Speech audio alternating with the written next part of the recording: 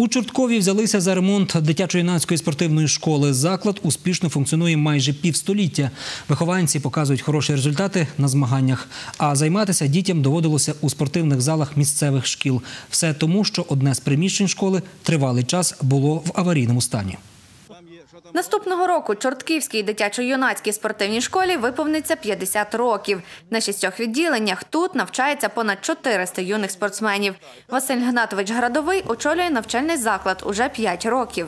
Школа має два приміщення основних. Оце приміщення, перед яким ми зараз знаходимося, це старий бувший кінотеатр, який в 1971 році був переданий для потреб нашої школи. Тут є чотири зали.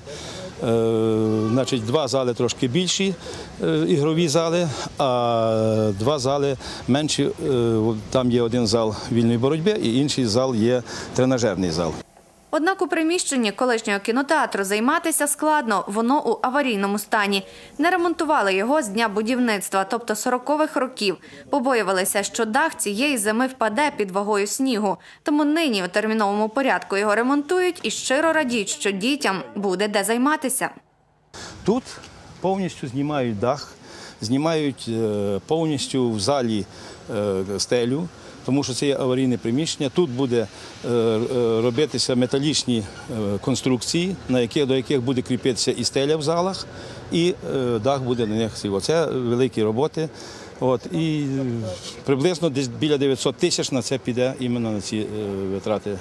Проект вдалося втілити завдяки фінансуванню з держбюджету Фонду регіонального розвитку. Частину коштів додала районна рада. В районі відремонтують ще два важливих об'єкти: будинок культури в селі Білобожниця та амбулаторію в селі Нагірянка. В селі Білобожниця там е, більше робіт і більш такі трудомісткі, тому що там є е, мурування простінків.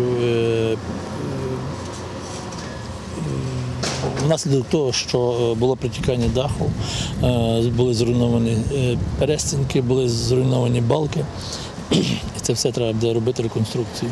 А також треба буде зробити новий дах, також з металочерепиці. В селі Нагірянка е, більш акцентується увагу на те, що це будівля старовинна. Ми стараємося зробити ремонт так, щоб не зіпсувати фасад будівлі. Усі ремонтні роботи планують завершити до кінця року.